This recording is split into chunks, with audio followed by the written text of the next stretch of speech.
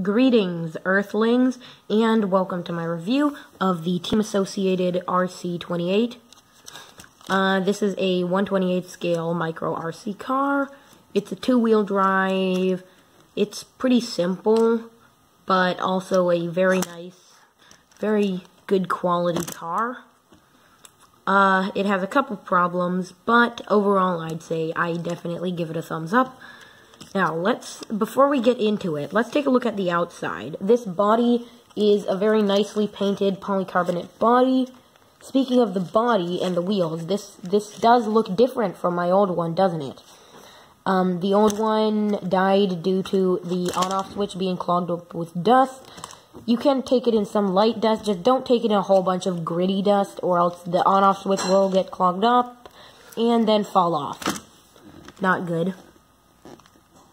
But, you know, this is really intended to be an indoor RC car anyway, so, yeah. Sorry, I have a bit of a cold. Although it would be nice if they would uh, try to protect the Switch a little bit more. But, you know, whatever.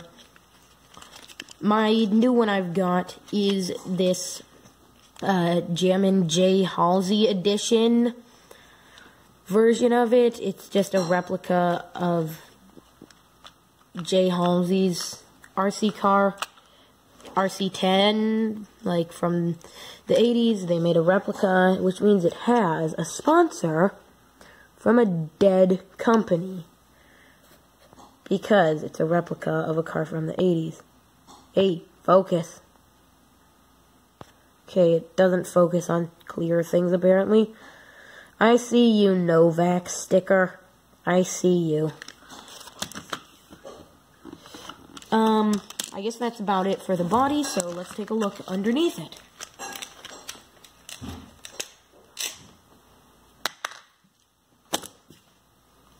Um, this, this is the car. It's quite simple, really.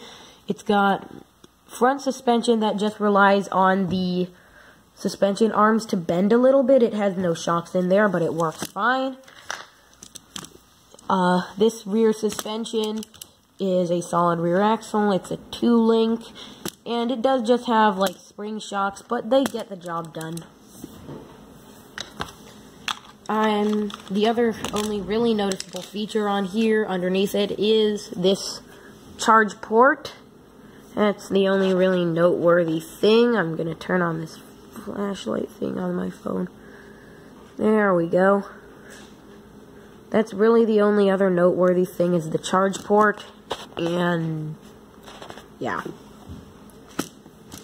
Uh, it is proportional steering and throttle. It's a decent speed. Uh, it's not like the fastest thing in the world, but it doesn't really need to be. Anyway, Speaking of charge ports and charging, you charge it with the transmitter.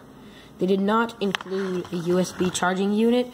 They do sell that, so it sort of feels like they're just trying to get you to spend more money there, so that it doesn't eat up all your AA batteries, but, you know, overall, I'd say for the price, it's still a pretty good little package. Even if it doesn't include the charger.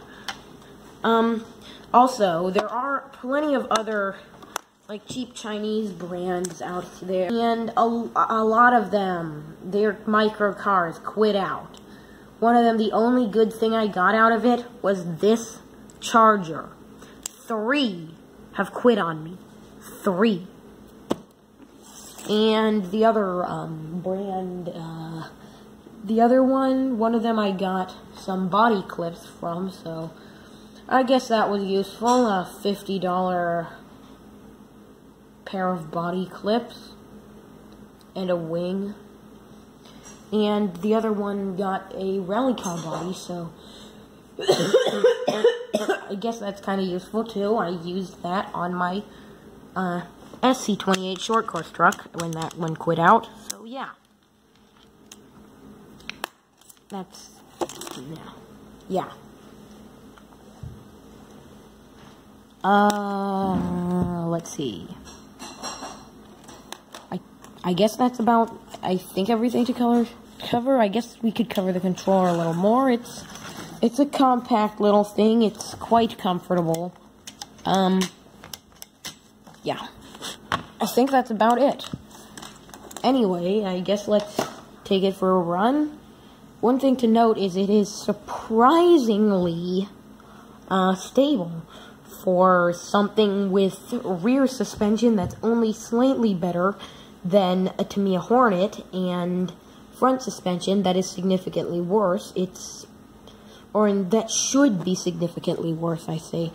I say should because it actually seems to perform better on both ends than the Tamiya Hornet and Grasshopper do. Anyway, I guess let's take it for a spin.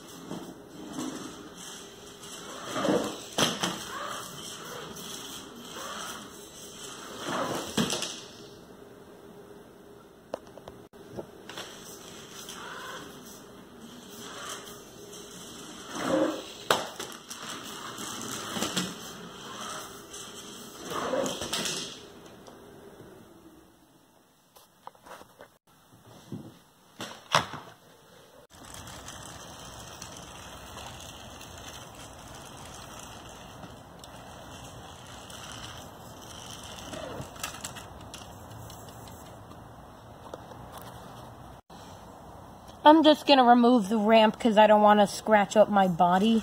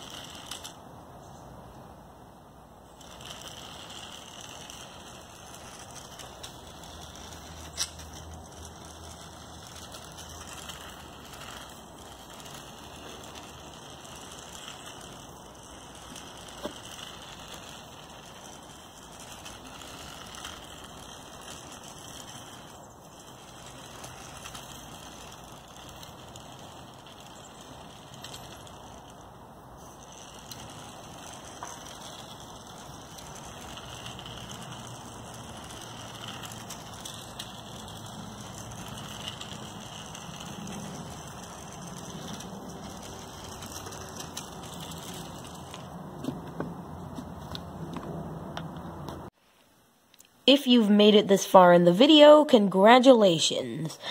As a reward, you get to like and subscribe. Bye-bye.